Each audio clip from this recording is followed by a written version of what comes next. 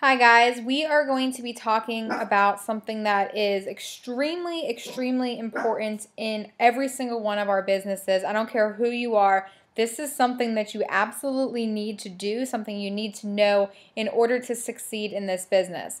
Now, I'm sure that you guys probably already know exactly what I'm going to be talking about by the title of this video, so we'll get right into it. Um, we are going to be talking about social media and the do's and the don'ts of it.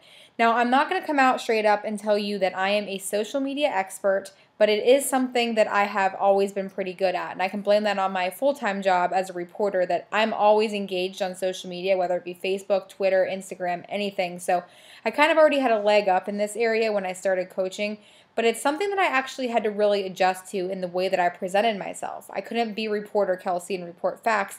I actually had to be Kelsey and talk about me and talk about this business and and how it's changed my life and how it's changing other people's lives. But there's a lot of things that I notice from other people.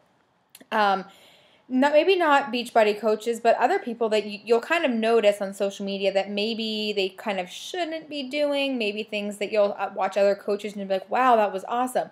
So I was um, deciding I was in a slump in this business. I was like, you know what? I need to do some training and try to figure out some ways to to improve. So what I did is I went into our coach online office and I started just reading through all of the trainings. And I said, you know what? I need to, there's something that I'm missing. Why am I struggling in this business? There's something that I'm missing. And I came across this um, document called the eight, eight social media do's and don'ts. And it literally was like, okay, let's let's talk about this today. And I, after everything that I've learned, I want to pass it on to you. So as a coach, I'm sure many of you know this, social media can be your greatest friend or your worst enemy. So there's a couple of things that we have to keep in mind as we're posting. Um, you want to be you. I mean, this is this isn't something that you you don't want to be anybody else. You want people to be re, um, able to relate to you. So we'll start with a couple things. I'll try to make this as quick as possible. The first thing to do is um, to post often. Now, you don't want to be sitting there posting every hour on the dot, but you need to be posting, I would say, between three to four times a day. And when I'm saying post three to four times a day, that does absolutely not mean put up a picture of Autumn Calabrese um, looking all sweaty in the 21 day fix saying, purchase a challenge pack from me. That does not mean putting up Shaun T and saying, okay, um, 25 minutes a day, um, $180 for this challenge pack, or $205 for this challenge pack um, buy it from me. That is not what it means by sharing Beachbody products. It does not mean taking a picture of Shakeology and just posting up a picture of it. No one's going to relate to that. You have to think of things that people are going to relate to. Now, think for instance, um, if you want to post a picture of something about the 21 day fix, post your results. Uh, how did this program help you? Uh, post a quote that somebody said. Did you ever get a text message from one of your challengers that said something like, Thank you so much for introducing this to me. I'm down eight pounds and seven inches. This is the best thing that's ever happened to me. Have you ever gotten something like that? You can even take their name out of it and just post that. Um, post a picture of the containers, say, or post a picture of a meal with the containers. Obviously, you can see right there that that's how people are going to be able to relate to you. Same thing with T25. Maybe put up a picture of you or, or a video of you doing some of the moves from T25. That's how people are going to be able to see what these products are. Um, you don't want to, like I said, don't post every hour because people are just going to get annoyed with you. They honestly are. Um, they're going to probably unfriend you, unfollow you, or you're going to start developing haters, which it's okay to have haters. It means you're doing your job right, but you don't want to annoy people. So just don't post too much. Um, Show the things that are interesting about you. You don't have to post about Beachbody four times a day, and that's you, you don't want to, or you're like I said, you're going to lose followers.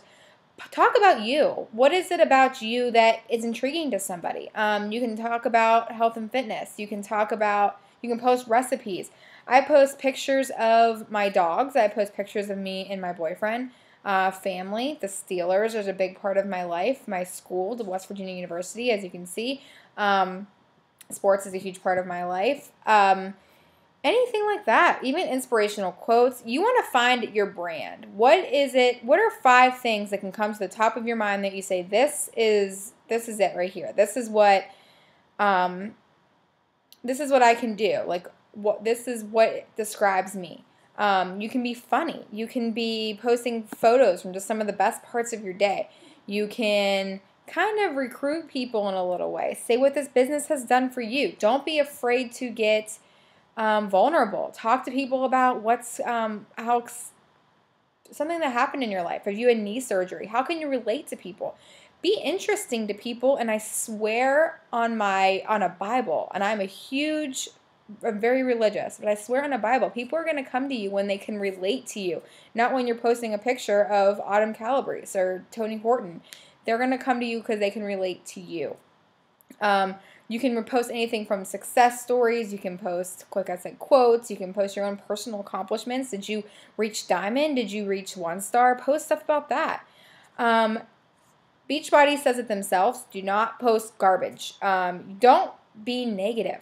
Don't sit there and post about long, exhaustive rants about your day, how somebody cut you off, and then you have a headache and you're super sick and you missed your workout and your day is just terrible. No one wants to hear about it. Sorry. I mean, unfortunately, no one wants to hear about your day.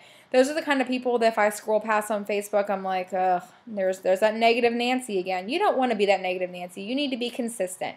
If you're talking about living a positive life, what does it say to the people when you post a negative rant? You know, it's just you have to be consistent about what you're saying. Um, I said before, don't talk about blatant selling. Don't talk about buy buy P90X from me for $160 don't um, talk you you don't need to talk about the same thing every single day. Um, you have a challenge group coming up um, when you post it once you don't need to post it two times a day. You don't have to post it the next day. You don't have to post it the day after that. If i have a challenge group coming up i will probably post about it once every three four days um, just to remind people but i will never you don't want to annoy people people get it people get you have a challenge group coming up that's unfortunately the um, the big thing that you need to keep your mind on um, one thing that we have talked about plenty of times that is extremely important that I stayed away from my first couple months of coaching and I shouldn't have is inviting. Invite, invite, invite, invite, invite.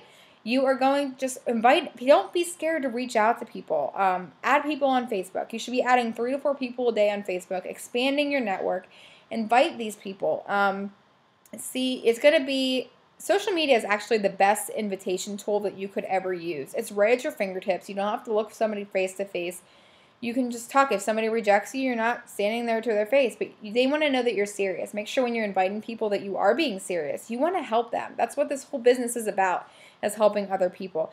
Talk to them about how excited you are about um, your journey, how what this has done for you, and don't you don't have to say join by tomorrow, and don't force them. Just invite them. Say, hey, so and so, I have a challenge group coming up, and I know that you post a lot of stuff about running and working out and stuff like that. So I figured I would reach out to you and see if um, maybe this 21 day journey is something that you'd be interested in. I did that once, and I've gotten a ton of people to reach out to, and uh, decide to do it. Um, what not to do on that same note, do not become a spam. Don't become um, Kelsey the spam. Don't annoy people. Um, don't just make think of it like as a dating process. You can link, you can talk to them about everything, but you don't want to keep bothering them about it. So if you invite them, don't keep spamming them and ask for following up with them every single day. They talk to you at it once. Um, they will. They they understand you're there and what you're doing. Just if you want to follow up, I would do it a week later. I wouldn't continue uh, bothering them every single day. Um, just the biggest thing is you need to be yourself. Um, sorry, I'm reading notes on the side of my page that I took. You want to be yourself. Um, show people that you are there for them. When someone leaves you a comment or sends you a tweet, make sure that you know that, make sure they know that you've seen it. Like their comment or respond to them back. The more that you interact with them, the more visible you are, the more people that are going to see um, your Facebook posts and your tweets.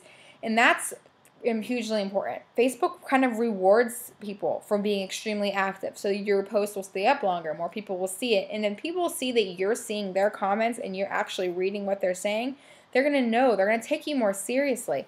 Um, people want to be heard. That's the biggest thing and it's it's true. They want to know that you're actually you're serious with what you say. You say, you can post all things all day long how you want to help somebody through their journey, but prove it prove it. Show them that you're going to be there for their journey. If somebody comments that one of your challengers comments on your page and says, "Hey, I would like a recipe," message them and give them a recipe. You need to be there for them. You are their coach.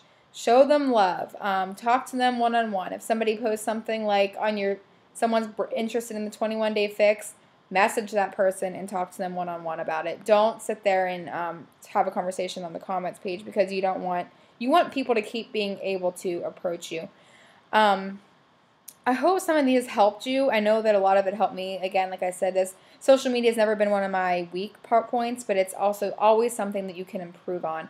And that's what I'm continuously trying to do. So make the biggest things I want you to take away is be you. Don't be somebody else that you're not. Don't go onto Lindsay Matway's page and steal one of her posts.